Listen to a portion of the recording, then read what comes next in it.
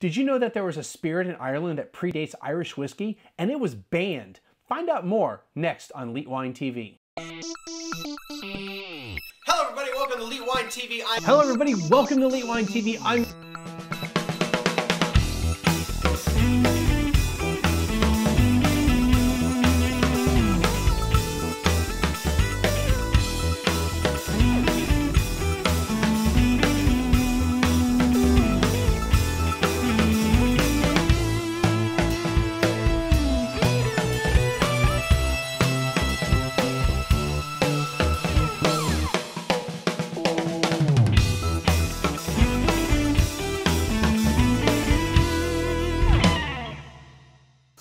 Hello, everybody. Welcome to Leet Wine TV. I'm your host, Mark Fusco, here for a very special edition of the show. I'm here with Dave Mulligan, uh, doing. Uh, first of all, I went to his seminar today about poutine, and there's like three other ways to pronounce it. I'll have him tell you that.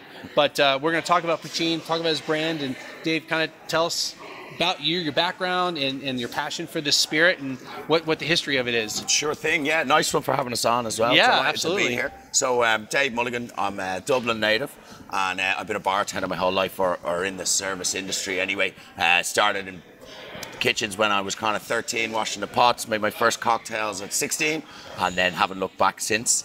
Um, always wanted to open my own place, and then I've, I opened one in London uh, in 2012, kind of a three-year project, and then in Dublin I've just moved home, opened my first bar, Bar 1661, and we are the poutine specialists of the world. Yeah. Yeah. Yeah. So so we, we've covered one way to pronounce it, poutine. There's three others, right? Yeah, well, th- I'd say let's go with three. Okay. The, the easiest one for me, because it's an Irish spelling, you know, is um, you put a CH in there Yeah. and overpronounce the pot. You know, so it's pochine. Poutine. Yeah. Pochine, that's the way to say it up in Northern Ireland. Yeah. And I make my pochine in Northern Ireland. It's also the easiest for the anglicised nations to get their tongue around, you know. And the other one is pochine. Poutine. Okay. Pochine, that's more around Dublin. And then poutine. Poutine. Poutine, okay. very softly spoken poutine, would be the more Gaeltacht, the Irish-speaking regions in the west of Ireland, you know, with the soft, soft pronunciation, yeah. So we talked about part of my background is is the Isles, except for Wales, but the rest of it is Europe, but a lot of it is Italian. So the poutine reminds me of fucking, which is a really derogatory Italian American thing. Um, I'll so, ask you off camera. you can ask me off camera. It is actually pretty derogatory. Uh, right, right. Um, and usually, and sometimes you put a little s like like sfacine is usually how you say it. Okay. So all my Italian American brethren know exactly what I said, but I'll tell you that later. Yeah, so right. yeah, so kind of uh, give us a little brief history of uh, uh, and what it is and what it's not. what it is Yeah. and what it's not. Okay, Yeah. well, we've got legend has about 1500 years of history. Um, I'm going to say a thousand. First written records are maybe 700, but we Mm-hmm. know we were making it for a long time before. So every country's got their native spirit. People are always, always going to think whiskey when it comes to Ireland, but Right. you know, whiskey came a long time after the poutine making at home. Yeah. Um, it was our culture, same as the Scots, to distill. Way before the whiskey industry ramped up into big, big copper stills, we made this stuff at home. It was part of the culture. We weren't a beer drinking nation. Arthur Guinness didn't rock up till 1759 and change change the country. Got the thousand year lease or whatever, right? He's got a thousand year lease for a Yeah. pound, yeah. Yeah. Um, sitting on a billion dollars now. um, but yeah, poutine is, you know, it is the native white Irish spirit. It would have been the granddaddy to whiskey, and not just Irish whiskey. I mean Scottish. I mean American. Um, Ireland and Scotland. There's always the argument who made up who came up with whiskey first. For Irish to claim it, um, it's a bit difficult for us because the Scots outsell us 20 to one. You know, Yeah. on the open market. So when we say, "Oh, it was actually it was us first, uh, but we do have the first written records. Okay. Okay. But looking at looking at who who invented it first, you've got to really look at at where we were back then. You know, you're going back a thousand years. You're looking at two colonized countries, colonized by the British, um, peasant people. But the people, the first records of distillation are actually in Northern Ireland, up in Donegal. Okay, not the north of Ireland, but the north, the north of the country, in Donegal. Um, and what you can see from Donegal, as you can across most of the north coast, is on a clear day, you get a good view of the islands of Scotland. In particular, Islay. Yeah. You know, the biggest whiskey producing micro region in the world. Yeah. But um, the people of the north and the people of the Scotland would have had a lot more dealings with each other than they ever would have with the people down south. So I like to say, who invented it? It was Celtic people. You know, it Yeah, was the yeah. Celts did it. But um, what they were making barrel aging only came along in the middle of the 1800s, so whiskey was a white spirit as well. The way they differentiated the two was whiskey came out of the big distilleries, out of the big cities, and what was made at home was poitín. And the word itself in Irish just means little pot. Yeah. So there's a bit of a pet name for the Irish, how to differentiate unlabeled white spirits. Well, that's the Parliament whiskey we used to call it because it was controlled by the British, controlled by the Crown. Yeah. And then what we made at home was was the poitín. Yeah. So, um, kind of talk about um, so that, that's kind of history of, of what what it is, and then you when you're in your um, seminar today, you really went through a lot of that history, but kind of talk about um, uh, kind of the taxes part of things, because that really kind of was, I think, pretty instrumental, uh, a big change of why poitín didn't didn't continue and why the other stuff kind of came around. that was really sure. interesting. Well, I think you know you look at a lot of things, and you know whiskey aging, and you know it's two years here, but three years in Ireland. Is that a quality thing? I don't know if it is. I see Yeah. it as a, a barrier to entry. If I was putting a cap on whiskey, I'd call it seven years before it's getting really good. A three-year-old Mm-hmm. Right, yeah. whiskey, nobody's looking for that. But um, it was a barrier to entry for the small guys. So the taxation was exactly the same. You know, in 1661, which is the name of the bar, that was when the, the British first started taxing Irish alcohol. Okay, but what it did was it put a lot of pressure onto the licensed whiskey distilleries that were off, operating out of the four major cities, and then the people at home. We never drank the stuff from the cities. We drank the stuff that we made ourselves. So you're making it in your kitchen from barley you've grown yourself. It, it was very easy to hide that, you know. Right. But um, they just put so much pressure on the on the whiskey distillers that the Brits trying to fund foreign wars or whatever they were doing back in the day, um, that they actually started squeezing the life out of the whiskey industry, and we ended up with a lesser quality spirit, which only fed into the, the home distiller more because poitín would have been, it would rarely have left the town it was made. It was very much about the community, mm-hmm. you know, so there would have been a couple of people in the town making it, generally the women. And Yeah. in particular, if a, if a woman, if she was made a widow, you know, if she lost her Yeah. husband, the town would actually chip in and buy a still for her as a way of supporting her family and, and having a livelihood. So her job was to make the poitín, but how is the tax man ever going to get at that, you know? So you got to jump forward 99 years, and uh, 1760 is when they changed the game again, and they said, um, you know, now it's it's not just tax. You got to have a liquor license. You got to have health certs. We got to know what you intend on making, and they they did something like the three-year age thing, where they actually banned a minimum still, still size. So anything south of 200 gallons was now illegal. You know, so that for me again was that was just to eradicate eradicate the home distiller. That meant if you're not a serious player, if you haven't got big money to get into this, Right, we don't want yeah. you in it. You know. Yeah, and you, and uh, you're talking about how around that time they were getting really creative with trying to avoid the tax man. I mean, we And- still are, right? Yeah, well, we always are, right? Yeah, but uh, basically the location of the stills. Ah, yeah. Yeah. So the shared ownership. So what they used to do was, um, if you got caught with a still or any poitín, you got a fine. Mm-hmm. You got a sliding scale fine, you know. So they used to fine you, say, fifty shillings. Yeah. But the still only cost you thirty shillings. So take it. You know, Yeah. I can just buy a new one. So people used to hide them. And they wouldn't hide them on their own land because they'd get them. If they hit them on their neighbours, the neighbour would get the fine. So they used to put them in like ditches or, or old woods where undisputed land that, that, that nobody had any ownership of. And when they found the stills, you know, it was becoming a problem. We, we can't just let them run riot like this. So they actually went out after the church, you know, which was a very clever move from the government because at the time in Ireland, up until very recent times, the, the church ruled the roost, you know. They They, did, were yeah. all all powerful. We went to mass every Sunday, if not more often, and what they said was gospel. They could really control Mm-hmm. the people. So they dipped their hand in the, the church's pocket. I mean, that never goes down too well, asking the church for money. So these guys, they went against poitín. The, the government was fine in the parish. So the priest, overnight, they went out in force to turn communities against poitín, and they actually made it a uh, something called a reserve sin. Reserve sin. We yeah. don't see a lot of anymore. We see a lot at this cocktail conference, but a Yeah, reserve I, sin. I learned what that was today, and I, I grew up Catholic. I didn't know what that was. You're lucky. Obviously, right. you were a good boy. But uh, a reserve sin basically means that a normal priest can't give you confession. You got to seek Yeah. out a bishop, otherwise you're going to hell. And that was drinking it, making it, selling it, anything to Yeah. do with it.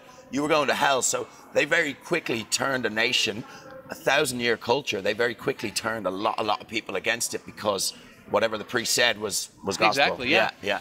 So let's talk about um, what what's the uh, what's the uh, base ingredient, the main ingredient that is used to make this. So for me, barley is king. Mm-hmm. Same as whiskey. You've got to think whiskey. Ireland, Scotland, native barley growing nations. The first references we had, you know, of um, of drinking barley are from the 11th century, but they don't specify what it was. Okay. So we can guess that we were distilling. We could have been drinking a barley wine. Right. But, you know, it wouldn't have all been malted. They would have tried to malt it over time because they understood that the, Right. the flavor worked better and the enzymes.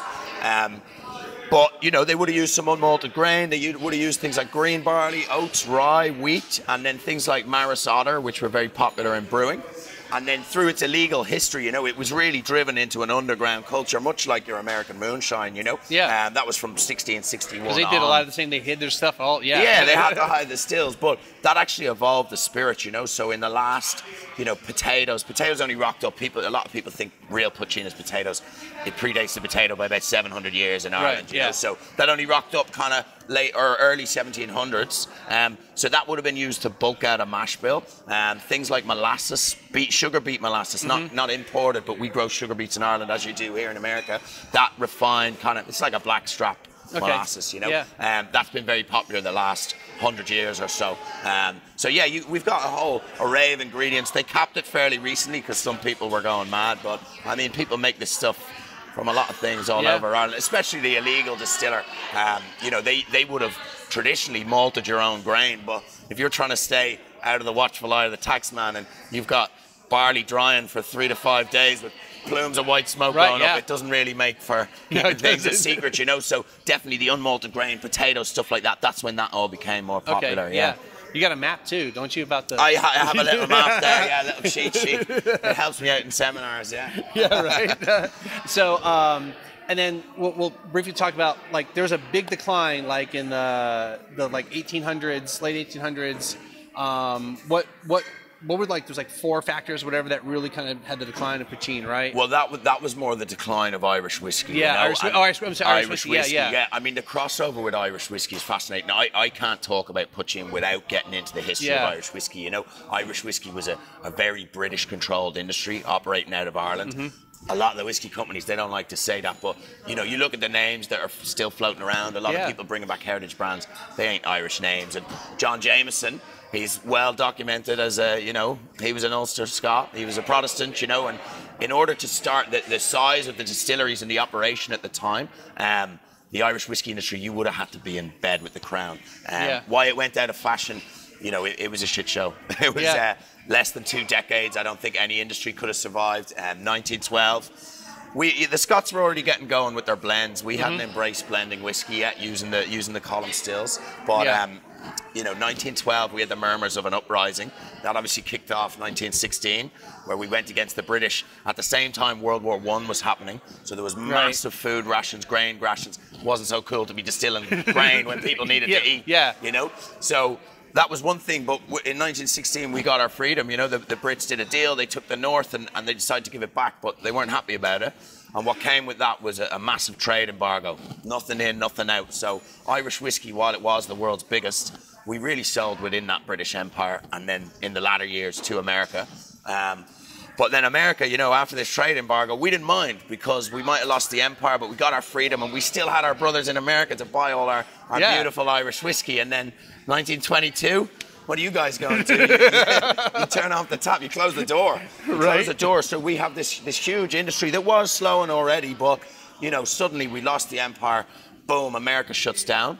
And then by the time Prohibition was 12, 13 years, was it? Yeah. by the time that came back around, the bootleggers in America, you know, um, I, I actually met a journalist, very interesting guy who was researching prohibition in San Antonio, and, and he really firmed up this point because he'd read it in two newspapers that the popular thing for them to do at the time while they were making cheap fake liquid was Irish whiskey was so popular that they'd bang a fake Irish whiskey Yeah. label on the bottle and be selling that. So at the same time, we wouldn't sell any whiskey to this side of the world out of respect because America were our brothers, you know. Um, the Scots, they didn't sell to America, but a lot of whiskey was being sold to Canada and the Caribbean. and it was being smuggled was in here. being Yeah. smuggled in, Yeah. so you were getting real deal, high quality Scotch Yeah. versus fake gut rot, you know, counterfeit Irish whiskey. So 12 years of that, when the ban did get lifted, nobody was looking for Irish whiskey. It had changed everybody's perception of Yeah. what it was, and that's something we still struggle with. We're still seen as a, a low class whiskey, but you know, there's a couple of Irish whiskies that won best whiskey in the world, Mm-hmm. different things, and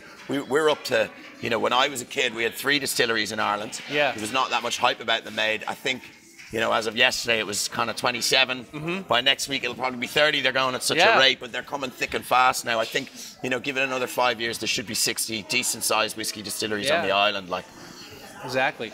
So let's, let's kind of talk about the brands here, and then uh, yeah. we can kind of talk about you, and we can wrap stuff up. All right. Sure, sure, sure. So there's two brands I'm representing here. Actually, four. The other guys are up at the bar for the after Yeah. party. But um, Bán I might go there. yeah, please do. Um, Bán Poitín is my brand. Bán itself, it looks like Ban, B-A-N. Yeah. It's got the accent over the A, so it's pronounced Bán, and it just means white in Irish. So. Okay. What is poitín? It's the white Irish yeah. spirit. It was Mhm. also banned for 336 yeah. years. So. but um, yeah, Bán's my baby. I make it in Echlinville Distillery, which is about 25 miles from Belfast. And we're farmers by trade. My partners are. They grow and malt all the barley themselves. Okay. Big chunk of barley in there, nod to its whiskey heritage. I just love the idea of potato. For a long time, we were the only ones distilling potatoes on the island of Yeah. Ireland. If you can believe that. Yeah, yeah, right. Nobody else had thought of it. And then a little bit of that beet molasses that had been used, so common in the last hundred years. So Yeah. this is really my cocktail background interpreting a spirit. Yeah. And when I got my hands dirty and got into the distillation, I said, why are we adhering to all these rules? Why, you know, we're poitín makers. Let's just make the spirit we want to make. Let's get to the flavor we want to get to.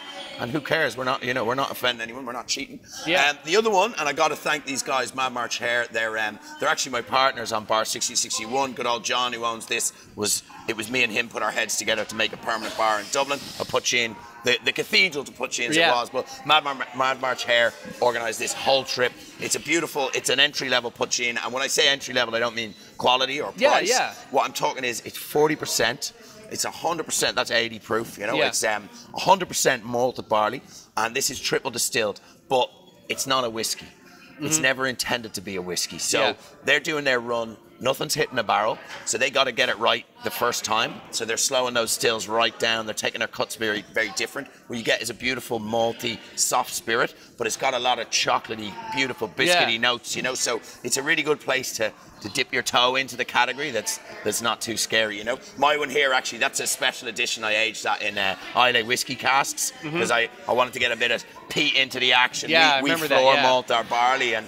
I, you know, looking at Islay, I was like, we got to get our barrels from there. We can see it from Northern Ireland, you know, Yeah. and that tie in back to the heritage of whiskey. I said, let, let, let's try and so that's got quite a peaty finish to it, but it's just my original spirit rested for 10 weeks. Yeah. Nice. Yeah, and that's, like the maximum that you can. rest- Maximum, that's Yeah. a new law by um, Yeah, new law. Yeah, new law. Again, I don't like adhering to the laws, but we, we try to bend the rules just like the tax man, right? Yeah, right. Exactly. But yeah, exactly. Mad, Mad March Hare, I'm not actually in America, you know, so Ireland and the UK are our big markets. We're quite big in London, Mm-hmm. and that was where I launched the brand. But then Mad March Hare is available nationwide, not in, in massive amounts, but Right. definitely Irish bars are just trying to take it on board. And then that cocktail you had this morning, the Yeah. Mm-hmm. Belfast coffee, that is our signature serve. It's our it's our pisco sour, it's our caipirinha, you know. So that it's a cold brewed, put-in version of an Irish coffee. Swap the whiskey for white spirit, put Mm-hmm. Swap the hot coffee for cold brew. Stir it down like a martini, cream, nutmeg. I mean, Yeah. they, out, they outsell Guinness in my bar. That so- was amazing. yeah, Yeah. yeah. I How can't do you even do that. I know I can't even give out more water than Yeah, Guinness in my bar. So yeah, it is. Um, it's it's going really well. We've got bars in London serving it, Belfast obviously serving it, Cork, Galway, and then we've one in LA. We just picked one up in Houston. They were straight away when they tasted. They said get that on the menu. Yeah. The bar is called Poitín, so Oh, it makes sense. Check right. it out if you're in the area. Yeah. I knew I, I, I might go to Houston next. I don't know, but I gotta check it out. Do, do, for sure. So, um, you want to talk a little bit more about 1661? 1661 Yeah. is uh, Dublin 7. So we're on the north side of the river. Anybody who knows Dublin is uh, all the money's on the south side. The working side of the city is the north side. We're buried in amongst the old historic fruit markets in Dublin. It's Yeah. actually one of the oldest parts of the city. So there's a lot of development going on around us, but we were the first business to go into that area. You know, people told me stay away from it. It's dangerous. Blah blah blah. I just fell in love with it. I'm I'm trying to do a cocktail bar. We, we I mean we work with a lot of Irish foragers, but I got the world's fruit landed on my doorstep, fruit and veg. So my bartenders, I tell them when we're doing a menu, just go get inspired, go for a walk. There's four square blocks of people Yeah. selling stuff from all over the world, you know. And like while we we super promote Irish products, always poutine is half our menu. Our menu is poutine drinks and not poutine drinks. That's Okay, how yeah, yeah, right. So, but they always have an Irish spirit, whiskey, gin, Irish cider, brandies, Irish apple ice wine, loads of interesting stuff on the island. But we try to back it up with a foraged Irish ingredient. But you know, we don't shy away from imports because they land and get distributed Yeah. from our doorstep. But Yeah. um, yeah, beautiful part. And then the history in the areas. These developers, every time they break ground. They find something else. The archaeologists are in. They got to mark it out, but you know, yeah. there's layers and layers of history underneath it. So anybody in Dublin, come see us. We got over 25 different poutines. I got well over 100 Irish whiskies, and I don't try. I'm not trying to have the most. I'm just trying to have the good ones. Yeah. Uh, gins, but curiosities. I got a lot of uh, really Yeah. interesting Irish produced Nice. stuff. Yeah, All and right. we did it. The bar itself is it. you know, it's a modern craft cocktail bar, but um, I wanted to do it in, you know. Not a, not a like um, kitsch Irish style, but it's a very modern, classy, nice joint, you know, and Mm-hmm. Yeah. it feels like a cocktail bar, but you know you're in an Irish bar. Yeah. Nice. Yeah. Well, Dave, um, uh, just been thank you so much for spending some time. pleasure. Yeah, Thank you. yeah. Yeah, yeah, I was trying to keep this in a, under a time limit, so No, no, that's great. Yeah, yeah, yeah. Um, but yeah, thank you so much. Uh, your your seminar was so interesting. Awesome. Uh, this this year, Conference for me is all the not that I've not gone to interesting seminars, but this year's seminars. I've been blown away by the information and by the presenters who are doing it. And you, your, your presentation was was on point. Awesome. It was Thank you. great. Appreciate that, So yeah. I really appreciate you hanging out with me for a little bit, um, folks. Find some poutine. Uh, you've got some in your area. I mean, these guys these guys are available. Uh, hopefully, we'll get to see your we'll stuff be here soon. We'll be here Yeah. soon. Yeah. And, anyone coming to Dublin, come check us out. 1661. Tell us why you're there, and I'll make sure I look after you. Yeah, absolutely. So, folks, we're going to wrap this up. Um, as always, uh, check out any links. I'll have links below in the description for all the products we're talking about. And uh, yeah, we'll see everyone again next time. Happy days. All right. Cheers.